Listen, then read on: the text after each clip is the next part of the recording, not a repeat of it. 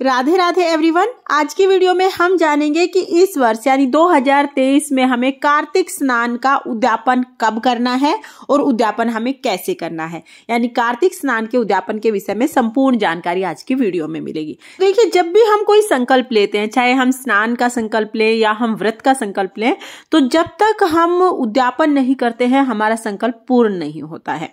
तो जैसे व्रत का उद्यापन किया जाता है, उसी तरह से कार्तिक स्नान का भी उद्यापन किया जाता है। उद्यापन का मतलब है कि हमें कुछ दान करना है।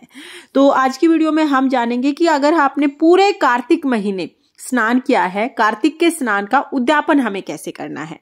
तो सबसे पहले जान लेते हैं कि उद्यापन कब करना है। कार्तिक स्नान का जो उद्यापन है उसमें हमें पंडित पंडिताइन को जिमाकर, यानी भोजन करा के उन्हें कुछ दान दक्षिणा देनी होती है। क्या दक्षिणा देंगे वो बता देती हूँ मैं आपको। तो यहाँ पर हमें पंडिताइन के लिए साड़ी लेनी है। आप साड़ी या सूट जो भी वो पहनती हैं, वो चीज़ ले सकती हैं। साड़ी सूट जब आप लेंगे तो नीला और काला रंग नहीं लेना है, उसके अलावा कोई भी रंग आप ले सकते हैं। तो यहाँ पर हमने एक साड़ी ले ली है। अब साड़ी के साथ साथ आप श्रृंगार का सामान ले लेंगे।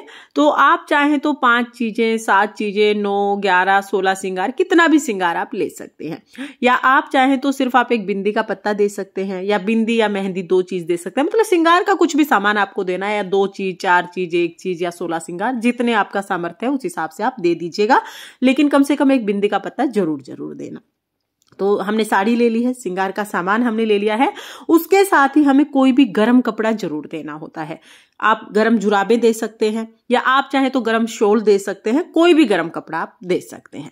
या अगर आप चाहें तो आप गर्म सूट भी दे सकते हैं, जैसे आजकल गर्म सूट ज़्यादातर लोग पहनते हैं तो आप चाहें तो आप गर्म सूट भी दे सकते हैं। अगर जिसको आप जिमा रहे हैं, वो गर्म वो सूट पहनते हैं तो आप गर्म सूट दे सकते हैं। नहीं तो आप साड़ी दे दीजिए और गर्म कपड़े के नाम पर आप जुराबे देंगे, इतना भी काफ़ी। आप अपने सामर्थ्य के हिसाब से देख लेना उस हिसाब से दे देना। उसके साथ ही पंडित जी के लिए हम पैंट शर्ट का जोड़ा ले लेंगे। तो ये हमने देखिए यहाँ पर पैंट शर्ट का जोड़ा ले लिया है। और मैंने जो ये पैंट शर्ट का जोड़ा लिया है, ये गर्म है तो इसलिए अलग से गर्म कपड़ा लेने की ज़रूरत नहीं पड़ेगी। अगर आप नॉर्मल पैंट शर्ट का जोड़ा दे रहे हैं तो उस पर आप गर्म जुराबे रख सकते हैं, मफलर आप ले सकते हैं, यानी कोई भी एक गर्म कपड़ा आपको देना है। अभी सर्दियों का मौसम चल रहा है तो गर्म कपड़े के दान का विशेष महत्व होता है, इसलिए आप कम से कम गर्म जुराबे तो ज़रूर दान करें। उसके साथ ही हम दक्षिणा रख देंगे, जैसे अभी आपका सामर्थ्य है, उस हिसाब से आप दक्षिणा रख दीजिएगा। और ये कपड़े तो हमें देने ही हैं, साथ में हमें कुछ बर्तन भी देने होते हैं। तो देखिए, हो सके तो पाँच बर्तन आप दान कर दीजिएगा, जो भी नॉर्मल पाँच बर्तन आते हैं, वो हमें लेने हैं।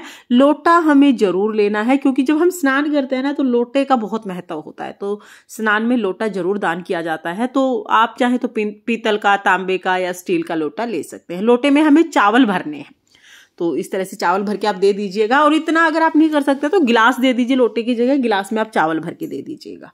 तो इस तरह से हम देंगे। और अगर कवारी लड़की ने स्नान किया है, अगर कवारी लड़कियाँ कवारी कन्याएँ स्नान करते हैं तो बस वो एक लोटा चावल का भर के दे देती है। इतने में भी उनका उद्यापन हो जाता है, एक लोटा चावल भर के और वो मंदिर में दान कर देती है। तो जो कवारी लड़कियाँ हैं, वो सिर्फ़ एक लोटा चावल या एक गिलास चावल लेके दान कर देंगी।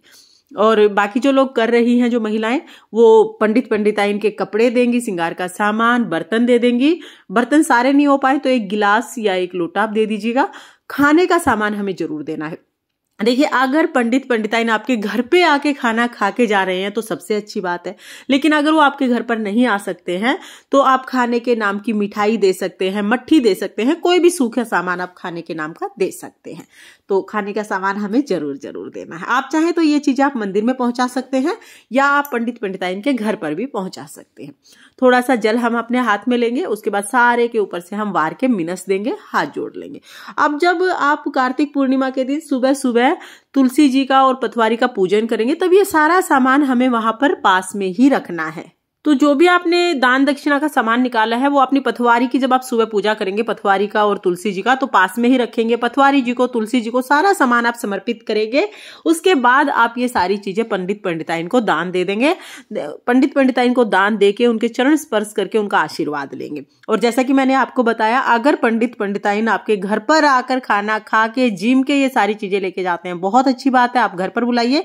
लेकिन अगर किसी कारण से आप घर पर नहीं बुला सकते हैं या वो घर पर नहीं आ सकते सकते हैं तो आप पंडित पंडिताइन के घर ये सामान पहुँचा सकते हैं, या आप मंदिर में भी ये सामान पहुँचा सकते हैं। भगवान विष्णु और माता लक्ष्मी के निमित्त हम ये दान करते हैं। बहुत ज़्यादा सवाल पूछा जाता है कि अगर कवारी लड़कियाँ कार्तिक स्नान कर रही है तो वो उद्यापन कैसे करेंगे? तो कवारी लड़कियाँ कार्तिक पूर्णिमा के दिन एक लोटा चावल उसके ऊपर दक्षिणा रख देंगी, दस रुपए, बीस रुपए, पचास रुपए जितने भी हों, और वो मंदिर में चढ़ा के आएँगी पंडित जी को दे देंगी। मंदिर में जो भी पंडित जी हैं, मंदिर में चढ़ा के आ जाएँगी।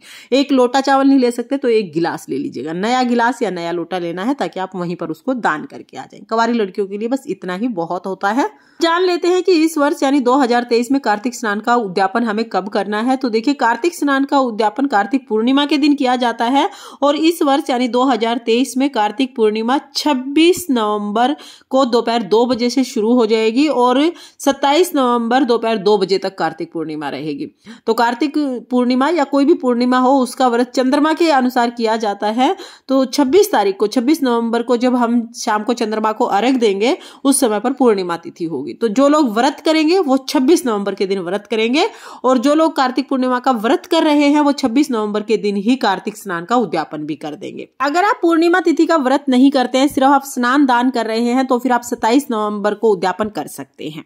अगर आप 26 तारीख को किसी कारणवश उद्यापन नहीं कर पाए हैं तो भी आप 27 नवंबर को कार्तिक स्नान का उद्यापन कर सकते हैं। हाँ, उद्यापन में जो ज़रूरी चीज़ें थी वो मैंने आपको बताई हैं। इसके अलावा आप सामान कितना भी बढ़ा सकते हैं। दान का कोई सीमा नहीं होती है आप चाहे कितना भी दान कर सकते हैं।